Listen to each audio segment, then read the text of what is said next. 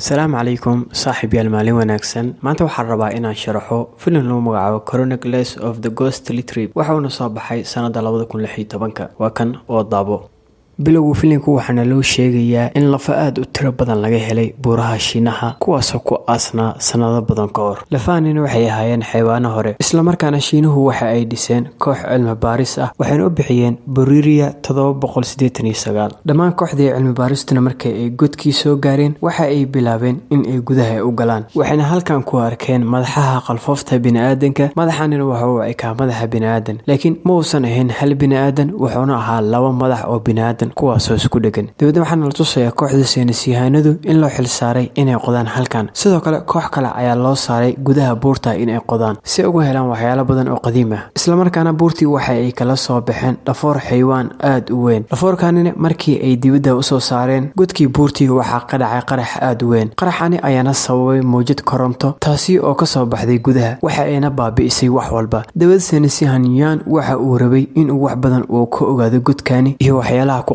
waxa uuna soo doortay qaar ka mid a askarta shiinaha kuwaas oo howlgalkiisa ku weelin doona. Sidoo kale gabadhiisii yambiin ayaa qayb ka ah iyo aktarka filimka kaasoo lagu magacaabo hiw pew saaxiibkiisana qayb ayuu ku yahay iyo kuwo kaloo aada u tiro badan. Kooxdii ayaana bilowday inay gudaha u soo gasho godka waxayna halkan ku arkeen waxyaalo badan oo cajiib ah iyagoo u malaynayay inay halkani tahay hooyiga ruuxaanta kuwaas oo degnaa jiray sanado badan ka hor. Balse dhammaan ruuxaantii waa la soo afjaray. Ugu dambeynna intii ay socdeen waxa ay soo gaareen halkan waxayna bilaabeen inay dhinaca kale kaga gudbaan. Halkan barafka ayaana ku arkeen raadadka xaywaanadii hore waxayna ahayd raad aada u weyn. Sinisyaanyaan markuu arkana aad ayuu u naxay islamarkaana waxa uu ku wargeliyey madaxdiisa isagoo wax walba uu sheegaya. Horey ayayna u sii dhaqaaqeen waxayna arkeen fiidmeero badan kuwaasoo ka duwan fiidmeerada caadiga. Sababtoo ah fiidmeeradani midabkooda waxa uu ahaa buluug waxayna bilaabeen fiidmeerada in ay soo weeraraan sinisyaanyaan laakiin askarigani ayaa halkan yimid waxa uuna qabtay fiidmeertii gacantiisii ayaana bilowday inay guwato taas uu ku qabtay fiidmeertii. Islamarkaana askarigan jirkiisii oo idil wuxuu isu bedelay qalfoof kadib markii uu ku gubtay fiidmeertii taasi oo la macnaha fiidmeertani qafka ay taabato inuu gebi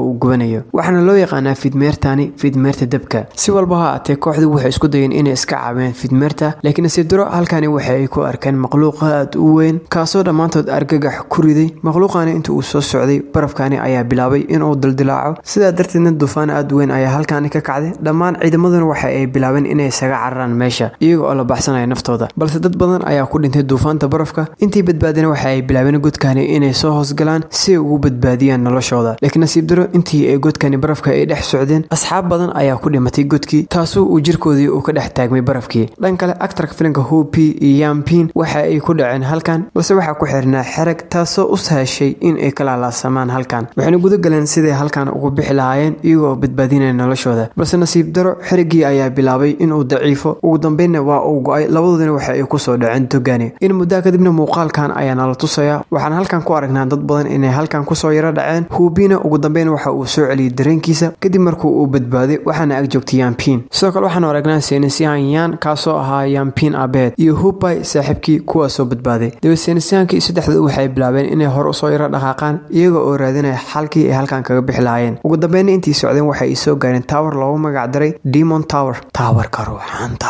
waxaan halkan ka ogaanaynaa seynisyahan yaan inuu goobtani uu raadinayo muddo aada u tiro badan. Sheekada dhabta ee filimkana waxay ku qarsoon tahay taawarkani seynisyahan yaan ayaana bilaabay inuu shido shumac waxa uuna dhigay taawarka hortiisa. Dabeed taawarkii ayaa bilaabay inuu iftiimo shumacoo shida awgi eleyskiina ugu dambeyn waxa uu galay habadii. Seynisyaankii ayaana u sheegay hipew iyo gabadhiisa yaambiin taawarkani inuu xirnaa muddo aad u badan uuna sugayay qofkii furi lahaa. Wuxuuna labadoodii ka codsaday inay gudaha u galaan oo taawarkii ay furaan. Markii ay gudaha u soo dhaqaaqeenna taawarkii dushiisii waxa uu bilaabay inuu furmo waxa uuna soo daynayay iftiin cajiib ah. Iftiinkii ayaana bilaabay inuu irdaha taawarku uu si aayar aayara u furo. Sidaa awgeedna halkan waxaa ku aragnaa ruuxaan aada u tiro badan. Dhagaxaantii ku hareereysnaa taawarkiina waxa ay bilaabeen inay lumiyaan awoodda cufisjiidadkooda iyaga oo bilaabay inay dulduulaan. Taawarkiina intuu si buuxdaa u furmin hampiyun saaxiibkii waxa uu bilaabay inuu ku dullaco shumaca taasi uu shiday seynisyahankii taawarkii ayaana gebi ahaan bixiray dhammaan albaabadii uu furay kadib markii uu dumay shumacii waxaana halkan ku ogaanaynaa himbiyu saaxiibkii inuu si ku talagala uu damiyo shumca sababtoo muusan doonaynin inuu furmo taawarka ruuxaanta. Sida awgeedna waxaa daahal ay qaadi doona xaqiiqda taawarkani dabeedna intii ay wada hadlayeen hambiyuun iyo saynisyahankii fidmeertii ayaa bilowday inay soo weerarto. Hambiyuun saaxiibkiisana waxa uu bilaabay inuu isku dhigo fidmeerta isagoo saaxiibadii u sheegay inay meesha isaga cararaan. Dhammaan fidmeertii ayaana bilowday inay ku hareeraysato hambiyuun saaxiibkii iyaga oo ku dhegaya jirkiisa. Dabeedna markii ay dhammaantood ay soo baxeen hambiyuun saaxiibkiina waxa uu bilaabay inuu isqarxiyo halkan ayuunu ku dhintay. Sidoo kale fidmeer badanna halkan ayay ku dhinteen balse waxaanu aragnaa fidmeerta qaar inay weli ay nool yihiin kuwaasoo bilaabay inay cirsan hambiyuun yambiin iyo saynisyahanka ugu dambeyna sidai u cararayan waxay soo gaareen togan mid ka mid a fidmeertii ayaana bilowday inay weerarto hambiyuun yambiinna markay aragtay hambiyuun waxay bilowday inay ku turto biyaha iyadana sidoo kale biyihii ayuu ku soo booday. Labadan waxa ay bilaabeen biyaha hoose ee badda inay ku midoobaan iyagoo si kalgacayla isugu soo dareemeen.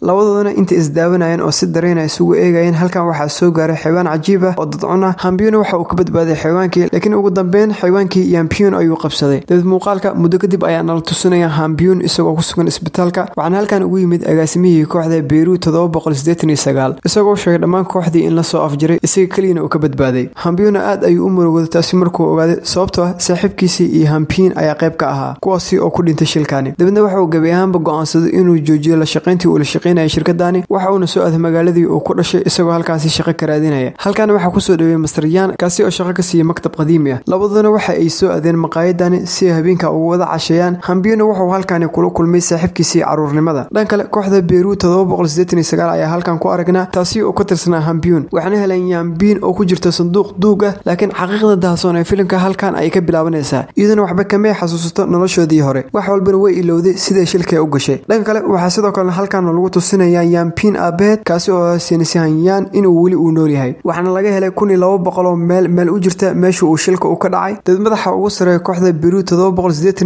wuxuu halkan ku arkay magaalo aad u burbursan. Magaaladani ayaana soo ifbaxaysa inaysan cidnaba ku nooleen. Sababtoo ah xabaano aad u waaweyn oo cajiib ah ayaa soo weerar magaaladani iyagoo oo burburiyey wax walba uu ku sugnaa magaalada. Sinisanyaan ayaana halkaa yimid waxaana la kulmay madaxa kooxda beru madaxa kooxda beru ayaana u soo bandhigay sinisanyaan waxa uu ka ogyahay magaaladani iyo waxaa sababay burburkeeda. Sinisanyaan ayaana u sheegay inay si qaldan u furan taawarka ruuxaanta taasi awgeedna makhluuqyo waaweyn oo cajiib ah iyo shisheeyaal badani ee halkaani ay ku soo dhowaadeen waxayna magaaladani ka abuureen qallaase aad u badan. Waxaana qasab ku ah dhammaantoodii inay joojiyaan dhacdooyinkani. Dhan kale waxaanu aragnaa hambiin wuxuuna maktabkii ka ogaaday sinisyanyan inuu mar hore u booqdo taawarkii ruuxaanta wuxuuna buug ka qoray taawarkii ruuxaanta. Aad ayuun u naxay hambiyuun wuxuuna isweydiiyey sababta uu sinisyanyan uu u aaday mar labaad taawarka ruuxaanta. Waxauna bilaabay inuu wax badan uu ka baaro taawarka ruuxaanta kadibna aad ayuu u wareeray dhammaan xaqiiqooyinka halkaani yaalay. Dabeed yambiyuun waxa uu bilaabay islamarkaana inuu gubto taasi oo la mid ah halkii ay fidmartii ay ka sumaysay inuu ka gubanayo. Hambiyuun saaxiibkiisii caruurnimada ayaana halkan yimid. Wuxuuna isku dayay saaxiibkiisii inuu ka damiyo debkaani laakiin hambiyuun ayaa bilaabay saaxiibkiisii inuu kala tuuro waxa uuna ku garaacay derbigaani. Halkii uu ogolaan lahaa inuu ka damiyo debka kadibna waxaanu aragnaa dhammaan walxaha ku sugnaa maktabka inay bilaabeen inay duulduulaan iyaga oo luminaya awoodda cufisjiduudkooda sidoo kale yumbiin waxau helay awood aad u saraysa